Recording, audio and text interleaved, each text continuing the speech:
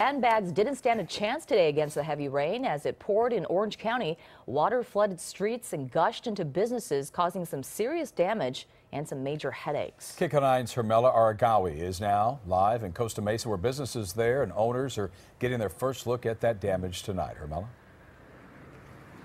Good evening. That's right. You see this line right here? That is how far the water came up. So we're talking about almost six feet from street level, and it carried cars like this casually floating into the street and eventually onto the sidewalk. But it didn't stop here. It rushed into those businesses over there and left the owners with a huge mess. All right, let's get this TV. In Costa Mesa tonight, a massive cleanup.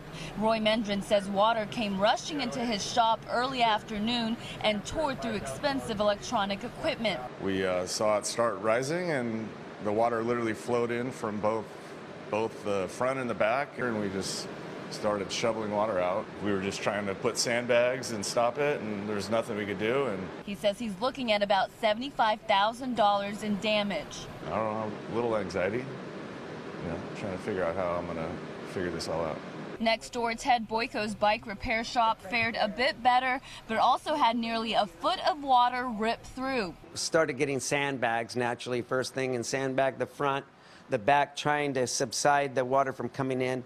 It didn't do anything. It was coming that quick. Boyko says this is the first time in 10 years he's seen anything like this. This was uh, a flood that came out of nowhere. I've been caught off guard all day and ready to cry. It was an incredible scene across Orange County as four inches of rain turned the roads into a sea of floating cars on Balboa Island, which is prone to flooding, but also in Costa Mesa, where a lot of residents say they were caught off guard.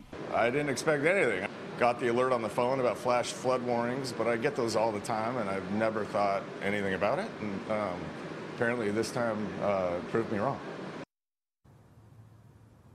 A lot of cleanup ahead for these business owners. They say they didn't have flood insurance because they didn't think that they would need it. So that's something that they say that they are concerned about. Reporting live in Costa Mesa, Hermela Aragawi, KCAL 9 News.